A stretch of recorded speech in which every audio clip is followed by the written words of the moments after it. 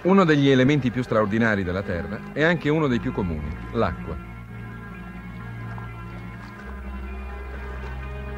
Entro una ristretta gamma di temperature, l'acqua può presentarsi allo stato liquido, solido o gassoso e nell'atmosfera essa assume tutte queste forme. Qui la vediamo trasformarsi da gas in liquido per poi tornare gas. Ma da dove proviene tutta quest'acqua che vaga per il cielo? Per lo più essa viene prelevata dai caldi oceani tropicali. Questo perché più alta è la temperatura, più rapidamente l'acqua evapora.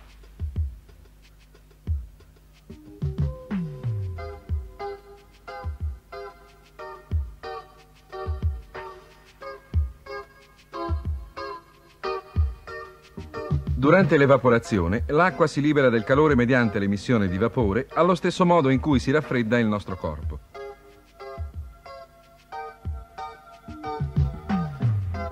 È difficile immaginare quale enorme quantità di vapore acqueo si immetta nell'atmosfera attraverso l'evaporazione.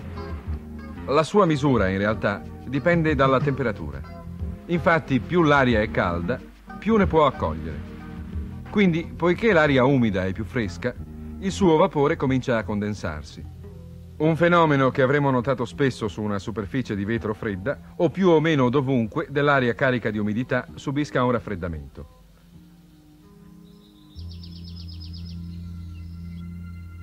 Al raffreddamento di aria divenuta satura di vapore acqueo si devono anche le nuvole e la nebbia.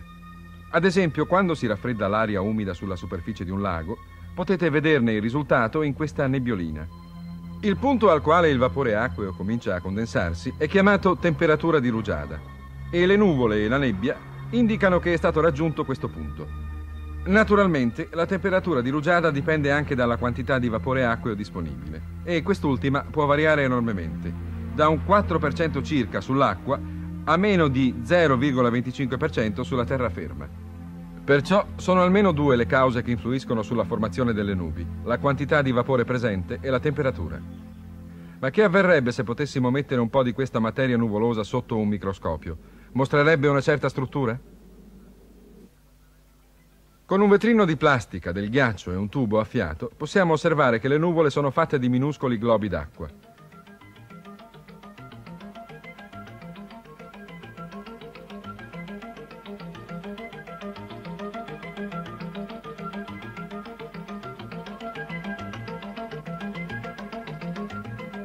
Se queste gocce microscopiche fossero sospese nell'aria, potremmo chiamarle goccioline di nube.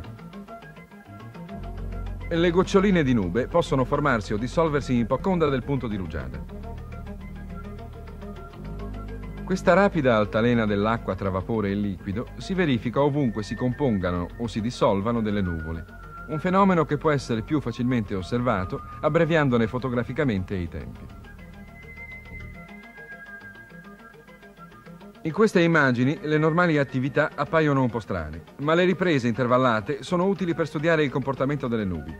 Ad esempio, queste nuvole si stanno formando sopra una catena montuosa, ma nel loro vagare sopra il deserto, le goccioline che le compongono cominciano ad evaporare a contatto dell'aria calda del deserto. Tale comportamento delle nuvole è difficile poterlo osservare in tempo reale.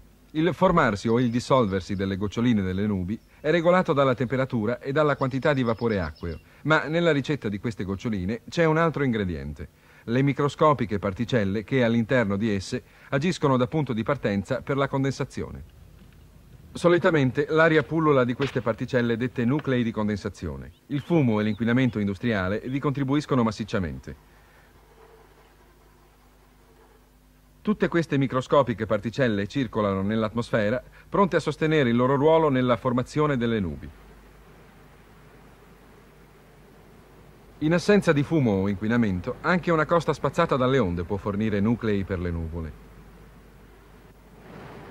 Gli spruzzi salmastri, evaporando, lasciano dei minuscoli cristalli di sale fluttuanti nell'aria a far da nuclei per le goccioline di nuvola.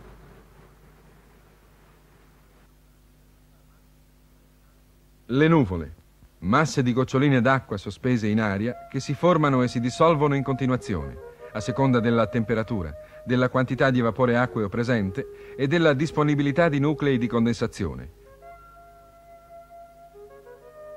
Una gocciolina di nube è ben differente come dimensioni da una goccia di pioggia. Se questo globo rappresenta una goccia di pioggia, questo invece rappresenta una gocciolina di nube. E questo granello all'interno di quest'ultima il nucleo di condensazione di quella singola gocciolina. Uno dei modi in cui si formano le gocce di pioggia è quando nelle nuvole le goccioline cominciano ad urtarsi fra loro, con le più grandi che cadendo attraverso la nuvola inghiottono le più piccole.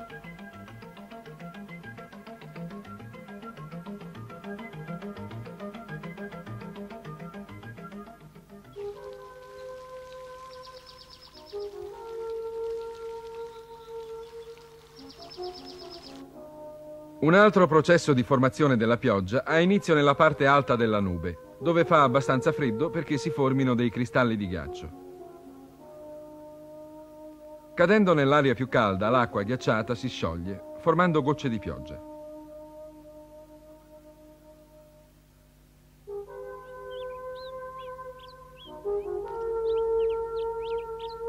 Le montagne possono avere un effetto determinante sulle nuvole. Questo perché l'aria, sospinta verso l'alto dalla montagna, si raffredda, provocando la condensazione del suo vapore acqueo.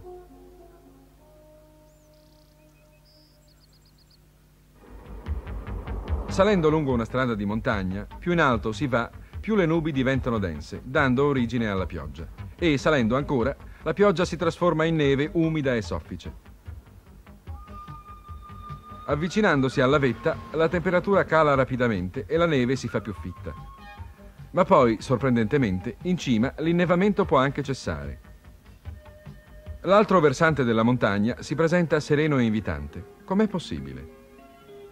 Nell'aria spinta in alto si è verificato un raffreddamento tale da condensare quasi tutta l'acqua in pioggia e neve, lasciando all'altro versante solo aria terza.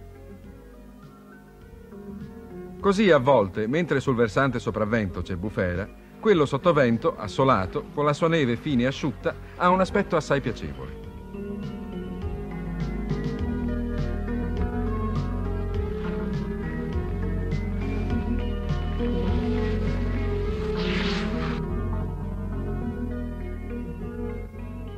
In lontananza possiamo vedere la massa rigonfia dei cumuli formatisi sopra la montagna.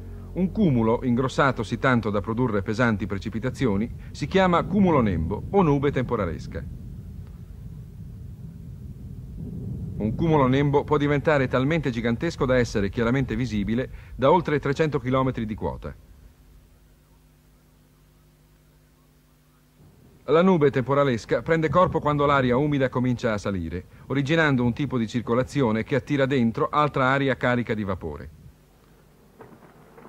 L'intero processo è chiamato convezione, vale a dire un tipo di circolazione prodotto dal calore.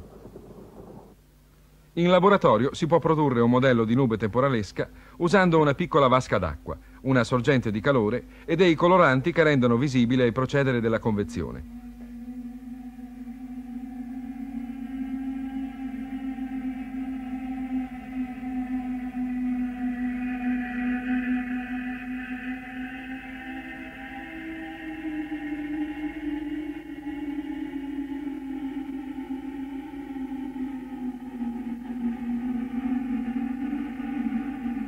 Una colonna di liquido, resa visibile dal colorante, viene messa in movimento direttamente sopra la fonte di calore. Poi, man mano che la colonna ascendente si raffredda, processo accelerato con del ghiaccio sui lati, l'acqua comincia ad affondare. Queste correnti verticali, originate dal calore, mostrano il tipo di flussi che si muovono nei cumuli nembi.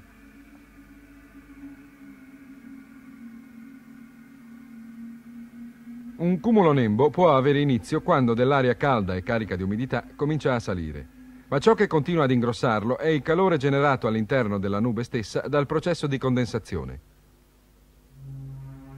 Più è il vapore che il cumulo nembo converte in goccioline d'acqua, maggiore è il calore sprigionato. Ed è questo calore di condensazione che alimenta queste enormi nuvole di convezione.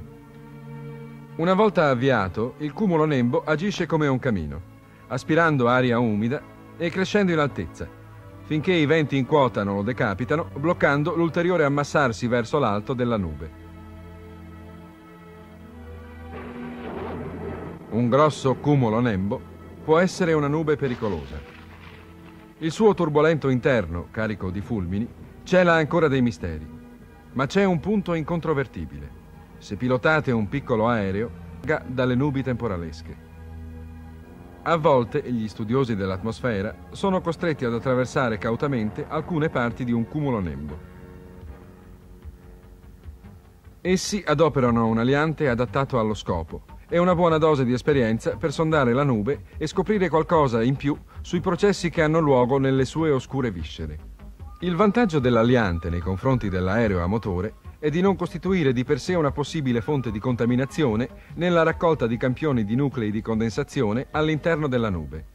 Il pilota è poi ulteriormente avvantaggiato dal fatto che il suo velivolo è uno strumento sensibile che avverte le correnti d'aria, consentendogli di rimanere dentro la nuvola e di trasmettere per radio un fiume di rilievi sulle condizioni all'interno della nube temporalesca. Sparse per il cielo all'incirca allo stesso livello dell'apice dei grandi cumuli nembi, vi sono nuvole a ciuffetti che non producono né pioggia né neve, almeno direttamente. Questo perché la maggior parte dell'acqua presente in questi cirri è sotto forma di ghiaccio.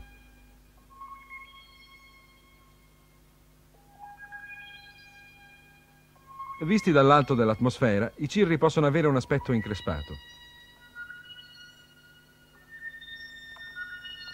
Benché essi non producano pioggia o neve, può esistere una relazione fra i cirri e le nubi più dense che invece ne producono.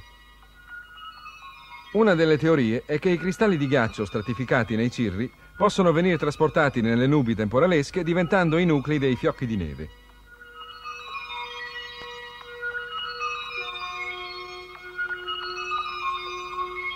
Nelle regioni temperate, molta della pioggia e della neve cade da nubi stratificate dette strati formate da aria che sale lentamente e uniformemente. Spesso, sugli oceani, gli strati di queste nubi si estendono fino a coprire vaste aree, diventando parte del grande ciclo atmosferico che apporta acqua alla Terra.